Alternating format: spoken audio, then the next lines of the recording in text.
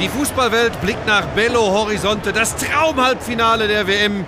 Brasilien gegen Deutschland. Scolari mit Dante und Willian für den verletzten bzw. gesperrten Neymar und Thiago Silva. Die Anfangsphase gehört der deutschen Mannschaft, die richtig Tempo macht. Das ist über links Mesut Özil. Ja, der vielgescholtene Mesut Özil. Schöner Querpass. Da ist Müller. Die erste dicke Gelegenheit. Und Riesenmassel für die Brasilianer hier in der Anfangsphase. Klasse Vorarbeit von Özil. Und die Deutschen machen gleich weiter. Kedira, Durchstecker auf Müller. Die Flanke von Müller kommt und da ist Klose. Wieder Glück für die Brasilianer. Druckvolles Spiel der Deutschen in den ersten Minuten. Wieder der wie ausgewechselt wirkende Ösil auf Klose. Ball läuft gut beim deutschen Team und da ist Groß mit der Riesengelegenheit. Kedira kommt nicht ran. Was für eine Anfangsphase der deutschen Mannschaft. Und Marcelo am Ende dann nah am gefährlichen Spiel, der die Kugel da aus der Gefahrenzone befördert. Wieder die deutsche Mannschaft. Immer wieder über links. Das ist Schweinsteiger. Da ist Müller, Müller und da ist das Tor. Deutschland führt mit 1 zu 0 im WM-Halbfinale gegen den Gastgeber. Klasse gespielt und Thomas Müller, ja, ja, auch wenn es abgedroschen ist, es müllert wieder für Jogi Löw und seine Mannschaft.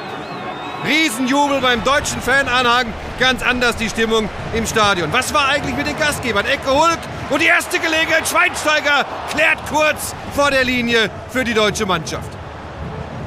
Die einzige Torchance für die Gastgeber überhaupt in der ersten Hälfte. Joachim Löw und Deutschland verdient 1-0 vorne. In der zweiten Hälfte kam mehr von Brasilien Ecke. Situation scheint geklärt und dann ist es Marcelo. Aber dieser Abschluss, ja Freundchen, das ist eine Lachtaube. Das ist ein Witz für den besten Torhüter der Welt. Da lege ich mich einfach mal fest. Und die Uhr, sie tickt gegen Brasilien gnadenlos runter. Luis Gustavo mit der Flanke. Da ist plötzlich Hulk völlig frei. Gott sei Dank aus deutscher Sicht verzieht er. Mittlerweile schon die Nachspielzeit. Ecke nochmal für Brasilien. Und das kann doch nicht sein! Das kann doch nicht sein! Das darf nicht wahr sein! Scolari bringt den Joker. Ramirez kurz zuvor eingewechselt. Macht das 1 zu 1. Das darf doch nicht sein!